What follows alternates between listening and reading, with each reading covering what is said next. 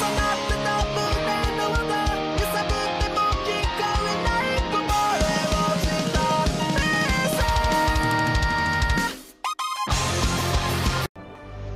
guys, jadi tadi gua barusan nyobain LoL TFT Mobile yang sedang lagi versi beta. BTW ini agak telat gua nge itunya ngerekamnya. Jadi nggak dari circle pas pemilihan champion. Eh kalau dari overall kayaknya sama aja ya dari yang versi VC dan setelah usut punya usut gua selidikin tadi ternyata emang server LoL Mobile TFT dengan TFT yang PC itu itu digabung. Jadi bisa aja kita melawan musuh yang PC. Cuman di versi mobile ini sepertinya splash artnya agak beda ya dari yang LoL apa dari yang LoL PC. Splash art atau gambar championnya yang di itu di pemilihannya agak beda. Untuk itemnya sama semua karena emang digabung dengan yang PC ya. Jadi nggak mungkin dibedain.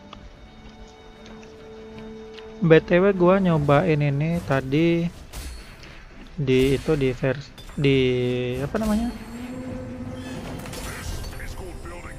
Hmm, oh, maksudnya itu di server NA. Buat saya buat saya sendiri itu betanya belum tersedia ya. Jadi masih pra pendaftaran. Cuman kalau selancar ini sih menurut gua paling nanti bulan Maret udah rilis lah itu di apa di SEA atau di Play Store mobile kita ini gua downloadnya dari itu dari bros dari aplikasi lain kalau kalian mau nyobain kalian bisa download dari APK Pure Kalian download lolnya dari situ terus update dan udah bisa main. Tapi kita harus pakai real akun ya. Dan ya buat kalian yang nggak pernah main LoL PC sama sekali bakal agak kesulitan ya. Soalnya kalian harus pelajarin dulu item-itemnya. Jadi kalau dipikir-pikir LoL mobile ini yang betanya ini nggak ada petunjuk sama sekali.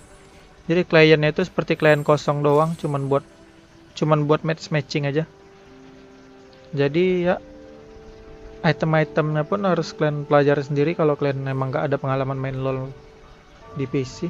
Sementara gua pribadi sih karena gua emang player LoL jadi dan eh dan udah sering main TFT juga dulu jadi walaupun udah pensi LoL PC-nya. Jadi ya bikin itemnya udah hafal deh.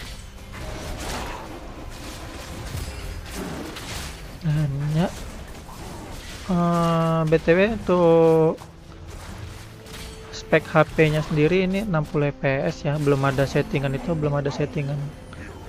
Untuk ganti frame rate-nya gua rasa dari ukuran game yang kayak gini nih itu kayaknya RAM 3 GB ngangkat lah. Atau yang udah pakai Snapdragon 636 itu kayaknya masih ngangkat. Tapi gua sendiri ini main di pakai device Asus ROG Mobile eh Asus ROG Mobile astaga. Asus, Asus ROG Phone. Yang dua. Emang termasuk nguras baterai ya setelah gua mainin. Dari 90% dua game aja. Satu game itu gua rekam sekitar 30 menitan. Dua game main itu baterai gua udah sisa 67% dari 90-an persen. Padahal baterai Asus ROG itu kalau nggak salah 6000 jadi emang termasuk itu emang termasuk boros baterai game LoL Mobile ini. Dan emang bikin device cepat panas juga. Mungkin karena belum ada settingan buat low-nya ya. Sementara di PC sendiri LoL ini 120 fps jadi emang belum istilahnya belum dioptimalkan sama Riot mob sama Riotnya belum dioptimasi buat game itu game mobile.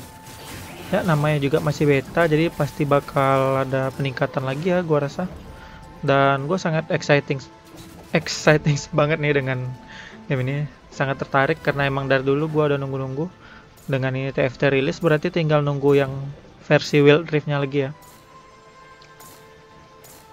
Lebih kalau yang mau banyak kan itu Wild Rift kalau ini kan masih TFT ini kan masih versi main caturnya Jadi gua rasa sekian aja sih penampakan sekilas gameplay LoL TFT Mobile-nya tinggal nunggu Wild Rift aja yang rilis. Gua rasa sekian dulu video ini. Tahap apa edahnya pun gua juga bingung. Rasanya gue cuman pengen ngupload ini aja. Baiklah, sampai ketemu di video lainnya. Bye bye.